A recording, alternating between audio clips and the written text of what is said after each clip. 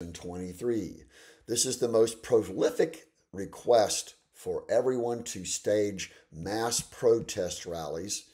We're reporting live News One Foundation, which is also One Press Foundation. Our name is Keith Duncan. We're the number one victim of organized criminals in Atlanta, Georgia. We've been requesting direct formal emergency requests for now 12 years with any FBI director. The Attorney General Chris Carr includes GBI Director Michael Register. The information is at duncanclaim.org, and this is the information that makes you famous and paid for. It's based upon the canceled restraining order 11.1.1171 that was used to physically kidnap us on October the 3rd. Never was September the 25th. And these are the answers for the entire world to finally understand that these criminals are running our world on emergency basis. Who do you know to meet us in person now?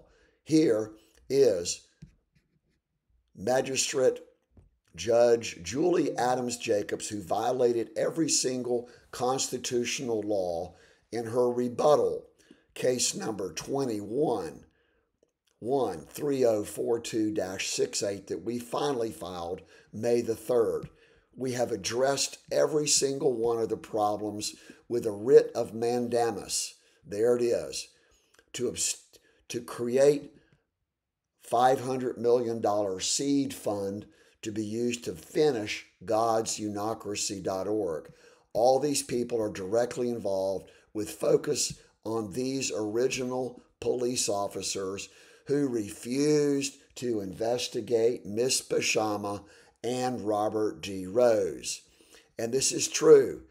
Cobb County illegally granted a restraining order charging Keith Duncan with felony kidnapping, felon misdemeanor assault, obstruction of justice, and a charge of stalking. Unbelievable. Our district attorney, in fact, our attorney was Barry Victor Rental. Everyone has refused to report the crimes because they understand the severity of how criminals all roam freely. And the new Marty Ferrell is the current chief of police for city of Marietta. So these solutions, you can pause and see. This was May the 3rd and we've never got a response back except from City Attorney Douglas Haynie. And this is beyond bizarre. Fails to state a claim of relief. What the hell does that mean? Literally. We have already contacted not only every form of law enforcement known to man, including our U.S. military, which is solutionmilitary.com. Here they immediately quote ancient precedent law from 2008, 1969, and they've never, 1958, a writ of mandamus does not reach the office. We have filed a personal action against every single public official upholding the constitutional law. Unbelievable what they say, nor can it be directed to the office. What the hell does that mean? So they will go to prison. And they're quoting in 1957 when we were conceived. Why would they go back and omit the citations? Because they're not upholding constitutional law. This alone is a sufficient basis to dismiss? No. Stage mass protest rallies today, February 28, 2022, the right to redress grievances against the government, the right to peacefully assemble. This will scare the living hell, literally, out of these people. It's an extraordinary legal remedy, correct, because no one's ever shown that we were physically robbed of $40,000.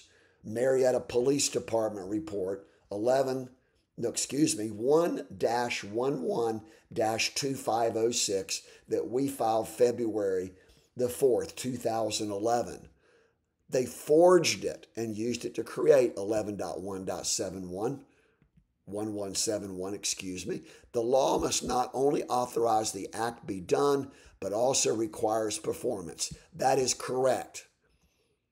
Mandamus is the proper remedy to compel the undoing of acts already done and the correction of wrongs already perpetrated.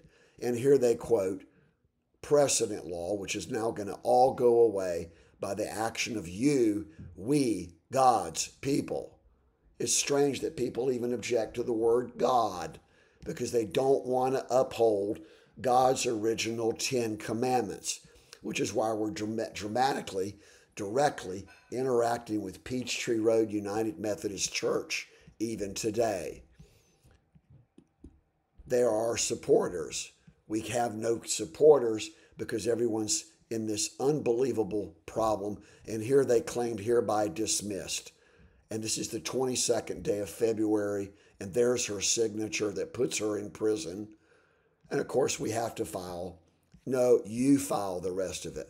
And this is our previous address, and these are the people involved Douglas Haynie and obviously Laura McMurphy. Well, there you have it, and the staff attorney. So they never looked at any of the documents, therefore, they're all guilty. Guilty under the existing United States Constitution, passed and ratified by we the people 1787.